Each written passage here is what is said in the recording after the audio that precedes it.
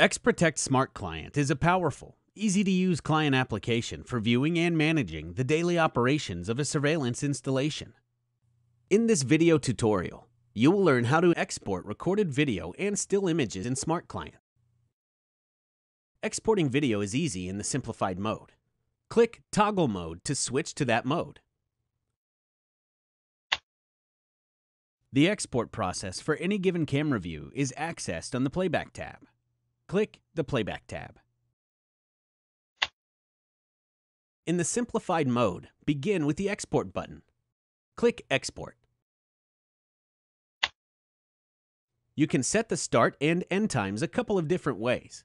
Let's look at both. Click the Start Input field. Click the Start Time field and change it to 11:45 a.m. Click Close. Set the end time the same way. Click the End Time field.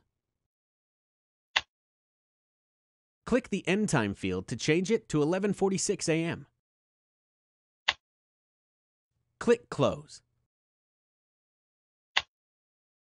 You can also select a period of time by dragging the start and end time indicators on the timeline.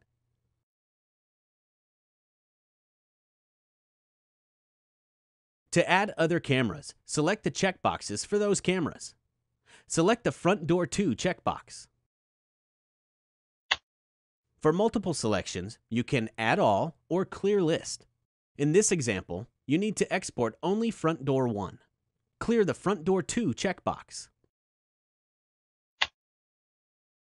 The video will be saved in database format to the destination you specify.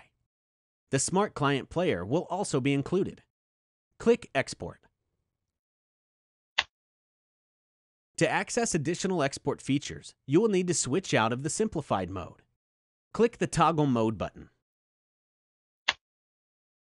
For camera views on both the live and playback tabs, you can save still images in several ways.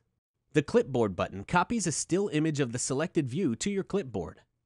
You can then paste the image into another application. The Send to the Printer button opens a surveillance report that you can send to a printer connected to your local machine. The report includes a still image of the camera view at the current time, the camera name, the image capture and report print times, the user's name, and the user's notes. The snapshot feature records a still image of the current view to a location on your local machine. The file name consists of the camera name, the date, and the time.